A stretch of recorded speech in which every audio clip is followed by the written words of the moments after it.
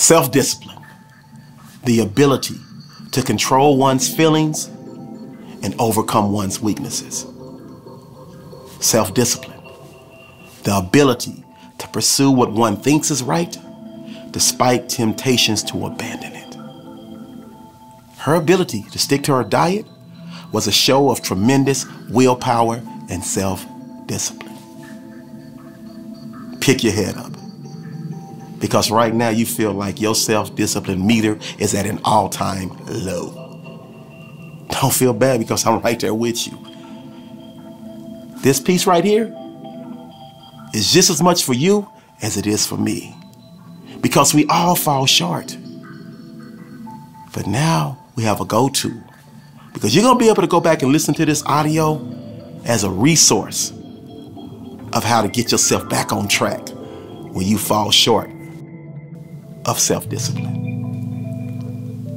Mental practice, fighting off impulses. It's time to start working your self discipline muscle.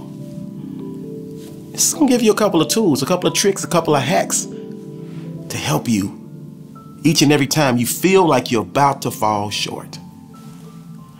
Number one, define the reason and reward for changing a behavior. And you gotta write this down. Let's say you wanna change your diet.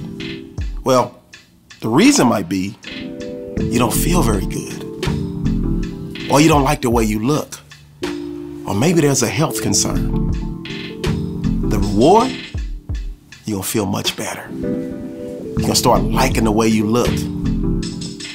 And you're most definitely going to improve your overall health. Number two, sometimes you gotta protect yourself from yourself. And what I mean by that is you have to have built-in things that help you improve your discipline. Let's say you have an issue when you go to the mall, you're always spending too much money. So set a limit.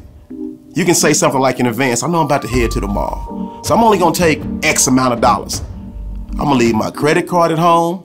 I'm gonna grab my ID, put it in my pocket of my purse. I'm gonna set myself up to where if I get an impulse, because self-discipline is fighting those impulses, I can't even spend any extra money.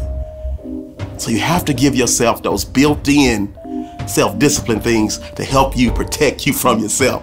I have to do that to myself all the time. Nothing wrong with it. Number three, accountability partners. Don't be scared to reach out for some help. You might be talking to your homeboy, you might be talking to your homegirl. Listen, I am struggling in this area. Can you please call me? Because I'm telling you, this is what I want to do. But every time I say I want to do it, I fall short. So I need you to hold me accountable. And you do the same thing for that person and ask them, do you have anything in your in areas in your life that you want to improve, that you're falling short with self-discipline? And we can both hold each other accountable. And that way we can find our way exercising this self-discipline muscle because that's what it's all about. The people that have the most discipline find themselves winning more than the people that don't. Number four, self-punishment, self-reward. You know what you're supposed to do. You made the choice, you made a decision, and said, listen, I'm going to do this no matter what. The times we fall short, don't get it done. Self-discipline just go right down the drain. That's when we have to set up some personal punishments for ourselves. Don't be nothing crazy. Just say, hey, I can't do this until I get that done. I can't do that until I get this done. You have to set up some little boundaries for yourself, just like in real life, because if you don't do certain things, there's gonna be a natural punishment that comes with it. But in the same token, gotta celebrate the small wins, self-reward. So when you do get that thing done that you said you were gonna do that you've been struggling with, you gotta reward yourself. You gotta pat yourself on the back. I get to do this because I did that. I get to do that because I did this. It's so important. And finally, number five, change your identity. Change how you identify with a certain situation. So if you're struggling to say, let's say stop smoking, and you made the choice, I'm gonna stop smoking and somebody asks you if you want to have a smoke, instead of just saying no thank you, say no, I'm not a smoker. Or if you want to get out of a relationship and somebody asks you if you're still in this situation with this person, even if you still are, say, nope, me and him, me and her, we not together no more. Start changing the way you look at the situation, and that'll help you start being stronger in that self-discipline department. And before you know it, you'll be out of a situation, you'll be doing the things that you say you want to do each and every day. Gotta follow through. I'm a basketball coach. And when we're teaching our players how to shoot, we always tell them at the end of the shot, follow through. Give it that little extra push. I'm telling you, anything that you're doing as it relates to self-discipline, you gotta follow through. Because that's the only way you get on the other side of this.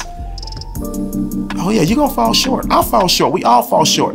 But now you have this resource, this audio as a resource you can go listen to over and over again and help you and help me get back on track when we fall short. Commit to being a master of self-discipline and ultimately you're committing to dominating your life and winning each and every day. And once you do that, you find yourself climbing over the hump and making each and every day of your life a WINSday. This is a great day to win. Let's go.